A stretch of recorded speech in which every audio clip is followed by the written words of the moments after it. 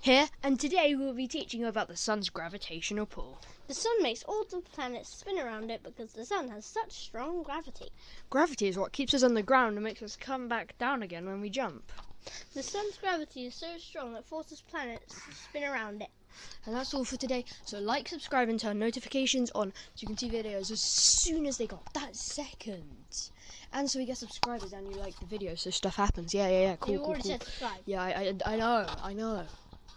Okay. Bye, and see you next time. Good. See.